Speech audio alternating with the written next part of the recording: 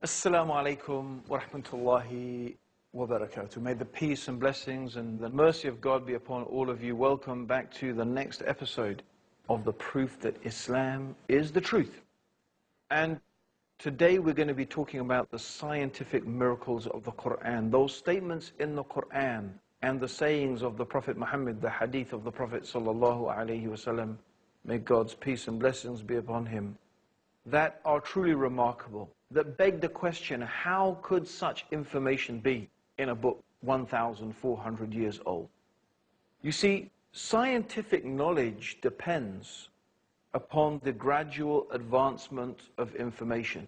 We can only know a certain thing in scientific terms when something has been studied and observed and examined. And of course, the ability to study and observe and examine something depends largely upon what is available to us in order to be able to do that. So, for example, how much can we know about the stars and cosmology if we don't have access to powerful telescopes and different ways of interpreting and gathering and then interpreting data from the universe around us?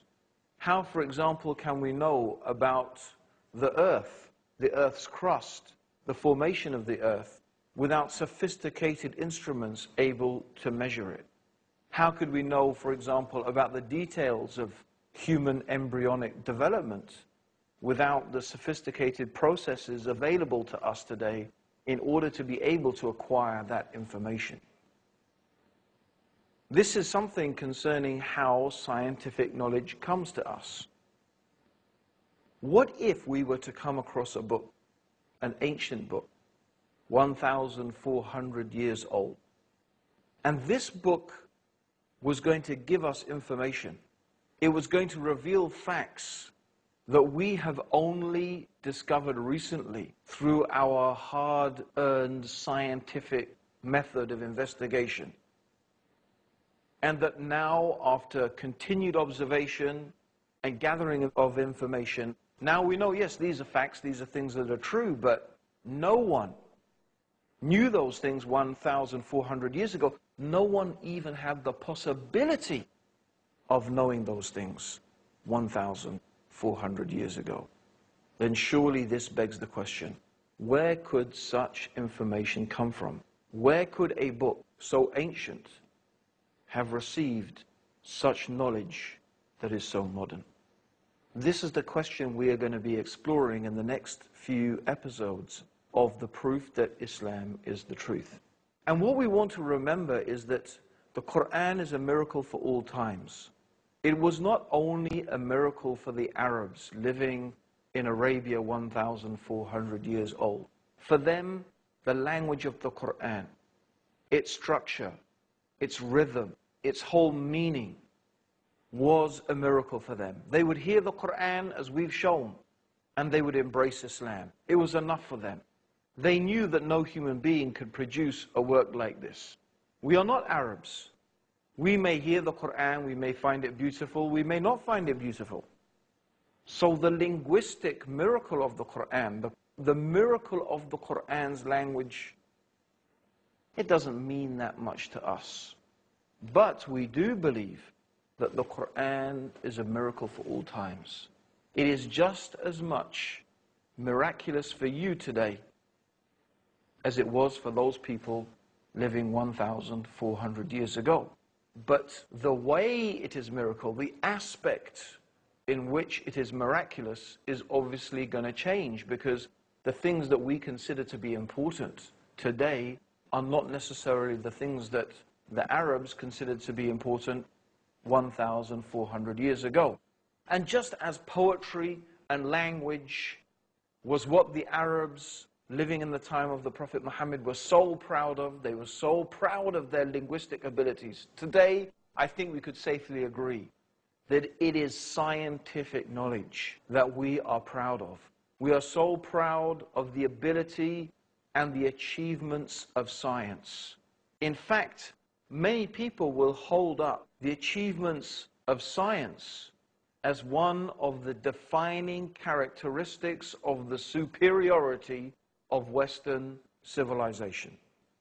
In fact, there is no doubt that the achievements of science have, by and large, in recent times, been a product of Western civilization.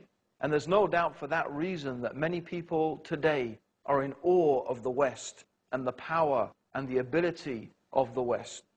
We study in universities based upon the patterns of Western institutions. English is the lingua franca, the international language that is spoken all over the world and in which many different studies are performed.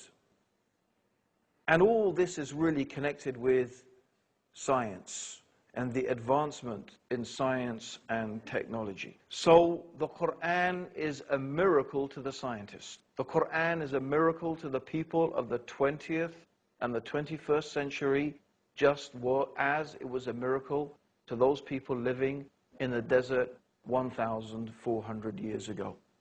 Now, what we plan to do over the next few episodes is to introduce to you some of the statements and explain some of the statements in the Quran that are of a scientific nature and that have proven to be in accordance with modern scientific knowledge.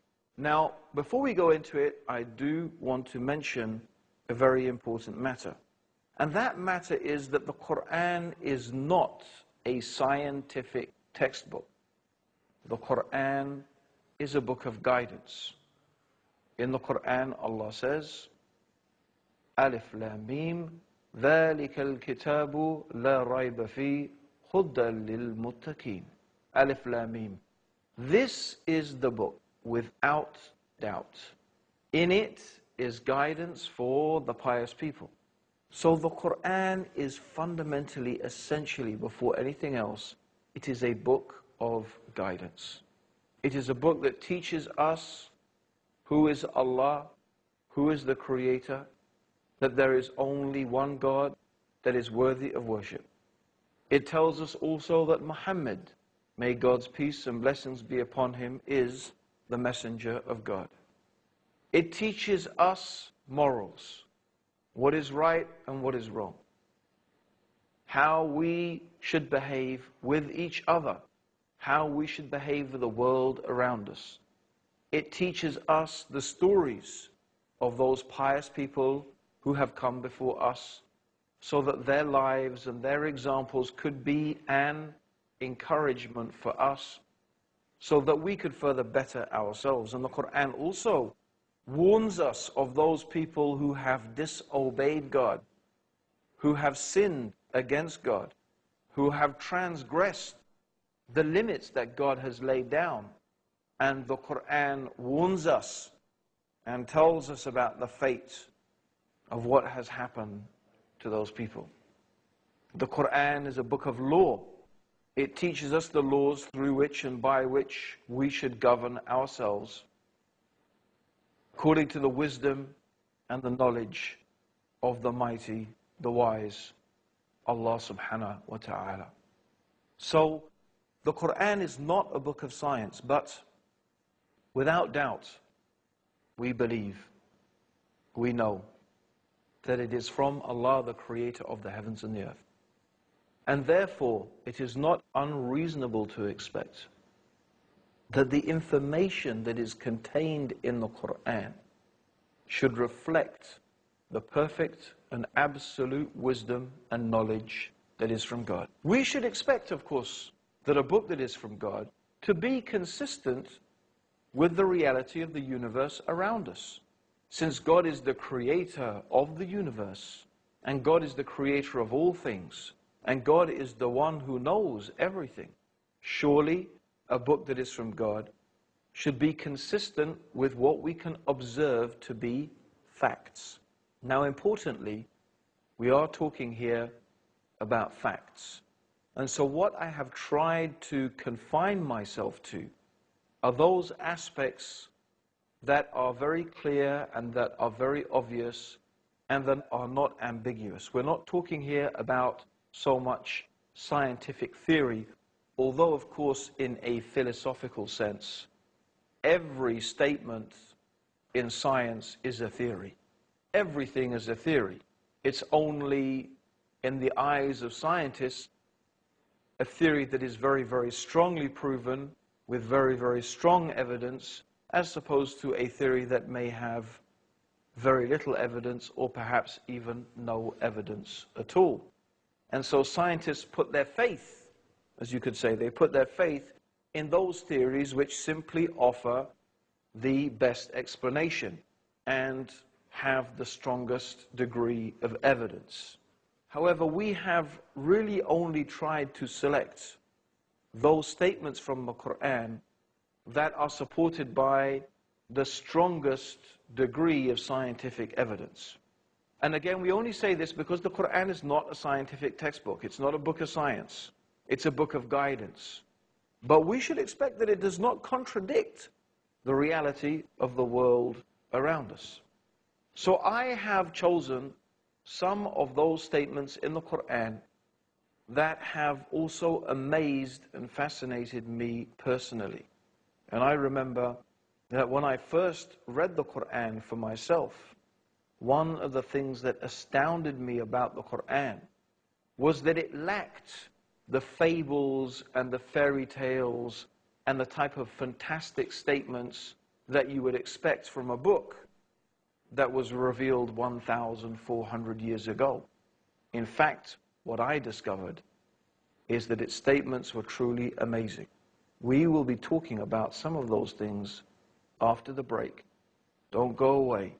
Stay there for the proof that Islam is the truth.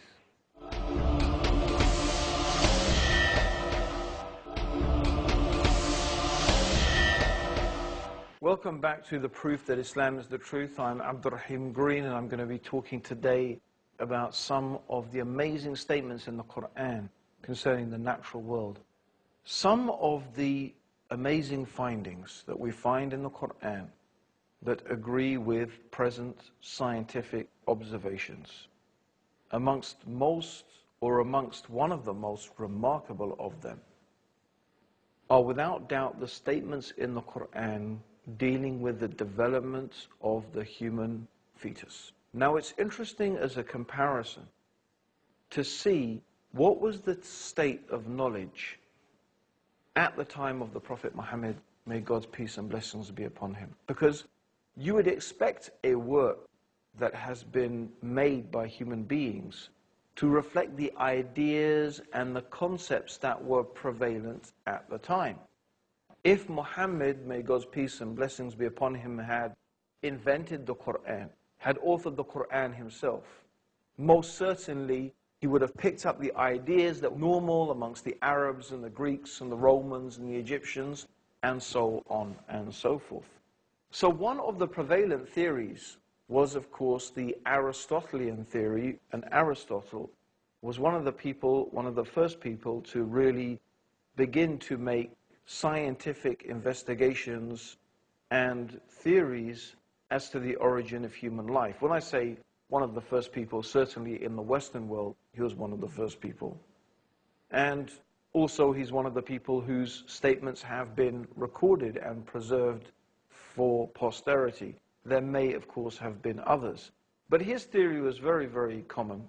And his idea was that the male sperm acted as rennet in cheese to congeal the female menstrual blood. And from the congealing of the female menstrual blood, the human embryo was formed. Now, he based this upon his observation that when women became pregnant, their monthly periods ceased. And so he theorized that therefore something must happen to that monthly period, and what happened to it was that it congealed in order to form a human life. Now, of course, we realize at this time that such a theory is completely false. Even as late as the 18th century, a man called Hartsoeker claimed to have seen through a primitive microscope various sperms of different animals. And so, looking through this primitive microscope, he claimed that he could see inside the actual sperm a preformed human being, a little child crouched up. Similarly, he claimed that in the giraffe sperm, for example, he could see a long neck, and in the rabbit's sperm, there was a big ears and stuff like that. And this was known as the preformation theory. Of course, again today we know that that is false. And it's an example, of course, of those type of theories that sometimes float around in science that later show to be false and even quite laughable. And that's the case with both Aristotle and the ideas that were prevalent in the 18th century. And it's not really until the 19th century that we began to develop an accurate description of the stages of human embryonic development. Now, what we want to examine is what does the Quran say? If the Quran was a forgery, if the Quran was invented and written by Prophet Muhammad, as people claim, then surely it would reflect the ignorant beliefs of the time. However, it does not. Let us read the 23rd chapter of the Quran, verses 12 to 16. The meaning of it is this. We created man from a quintessence of clay. This, by the way, is referring to the creation of Adam.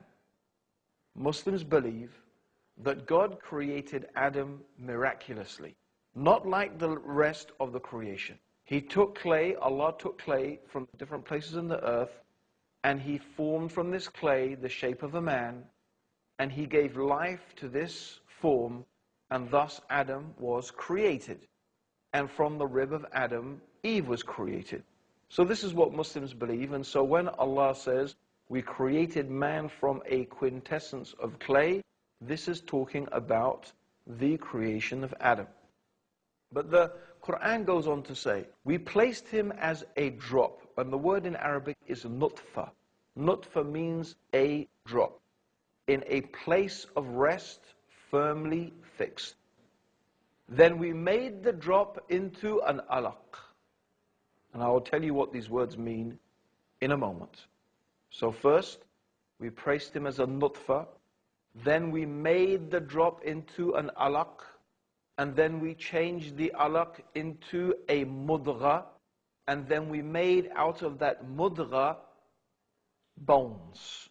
And then we clothed the bones with flesh. Then we caused him to grow and come into being and attain definitive form. So Allah is mentioning the stages. Nutfa, alaq, mudgha, laham.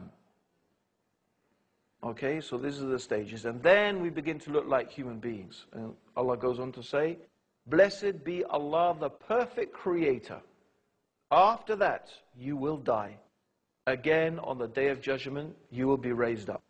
It's very important, my dear listeners, that Allah at the same time as He is mentioning these amazing and astounding facts that science has only discovered recently, immediately afterwards Allah is reminding us that you will die and you will be raised up on the day of judgment. Just as Allah created you in stages from a thing that clings, from an alaq and a mudgha, and from laham, from all of these things, Allah most certainly will create you again on the day of judgment. Now the Prophet wasallam, nutfa means a small drop that is emitted. And the Prophet wasallam referred to this nutfa as both belonging to the male and the female. In fact, he mentioned that these nutfa are mixed in the creation. This is what he mentioned in an authentic hadith. The nutfa, the, the drop from the man, which is the semen, and the, from the woman, which is of course the ovum, their, their nutfa, the small drops, they are mixed. So this is very important because the Prophet is mentioning that the human being comes from both the man and from the woman. This already goes against the theories that were prevalent at the time. Secondly, the word alaq in Arabic, what does it mean? It has three meanings. A thing that clings, a blood clot, and a leech-like object. In fact, all of these things accurately describe the first stage of human embryonic development. After the fertilization of the egg, our blastocyst develops, which has on its exterior villocytes which literally cling to the wall of the uterus. So they're little, it's rather like um, Velcro. They cling to the inside of the uterus in the womb. This is what happens to this thing that clings. And then it goes on to resemble exactly a leech-like object. The similarity is absolutely remarkable, not only in appearance, but also in behavior, because a leech also takes blood from its host. Similarly, the alaq stage also takes nutrition and blood from inside the mother. So this is, it goes on and it also resembles at a later stage after that a blood clot. So this is the first thing. The word alaq describes exactly the first state of human embryonic development. This is not something that could have been known 1,400 years ago. It is impossible because this stage of human embryonic development is something that only can be observed with powerful microscopes. Yet, description is accurately mentioned in the Quran 1,400 years ago. So it mentions then from the alaq stage, it becomes a mudgha. A mudgha means like a chewed piece of flesh. And this is exactly what it likes. The Prophet Muhammad sallallahu the Quran also said, partly formed and unformed. So it has bits that are slightly formed, bits that are not. And if again you look at this stage, it looks exactly like a piece of meat that has been chewed. Then the amazing thing is that the bones precede the development of the flesh. The bones come, and then on the bones the flesh grow. Although the, the time between the growing of the bones and the flesh is very, very close. And it's very interesting that the word that is used, the term that is used in Arabic, the word is indicates speed, one thing following another very, very closely. Even the structure of the words in Arabic are consistent with the development of the human embryo. And then the Prophet Muhammad sallallahu alayhi wasallam said, when 42 nights have passed over the conceptus, Allah sends an angel to it who shapes it and makes its ears and its eyes and skin and flesh and bones. And then he says, O Lord, is it a male or a female? And your Lord decides what he wishes, and then the angel records it. It is also true that you cannot determine the sex of the fetus until just after 42 nights. How did this information come to a man living in the desert 1,400 years ago? Most certainly, this is the evidence that the Quran is from Allah and that Muhammad is his messenger. Join us for the next episode of the proof that Islam is the truth. And until then, Assalamu alaikum wa rahmatullahi wa barakatuh.